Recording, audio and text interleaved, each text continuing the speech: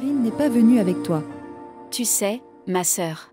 Jusqu'à ce que tu lui appelles. Et Farhan vient la chercher, elle ne viendra pas. Ok, laisse Zarine. Je suis venue pour parler de la proposition de mon fils. Je suis venue demander la main de Nintara pour Kashi. Quoi? Nusra, es-tu raisonnable? Vous parlez d'obtenir. Ma belle-fille veuve s'est mariée. Elle n'est plus ta belle-fille maintenant. Elle est veuve. C'est pourquoi j'ai proposé sa proposition. D'ailleurs, elle ne restera pas ici toute sa vie.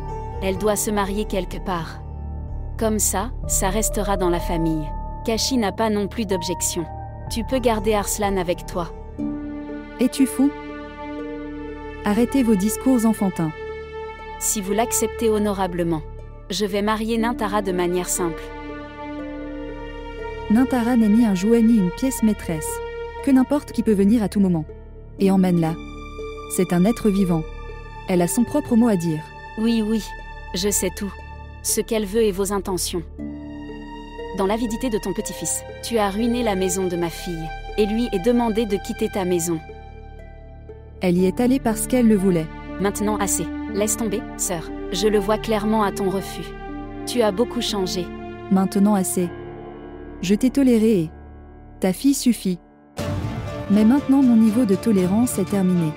Jusqu'à aujourd'hui, j'ai toléré toutes ces choses non sérieuses et sans fondement. Mais pour combien de temps, Nusrta Son comportement enfantin n'en finit pas. C'est toi qui as un comportement enfantin. Tu as complètement changé. Nintara vous est chère et agissant comme si ma fille n'avait aucune relation avec toi. Elle a une relation. C'est pourquoi je l'ai gardée dans cette maison jusqu'à aujourd'hui, même après avoir su qu'elle est stérile. Mon fils est très honorable. Il a toujours nous a caché les défauts de ta fille. Mais elle a dépassé toutes les limites de l'ingratitude. Et maintenant elle est égoïste. Ce n'est pas de l'égoïsme de sauver sa propre maison.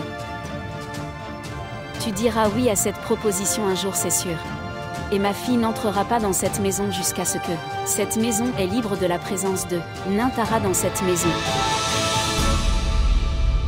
Tu peux le dire à ton fils.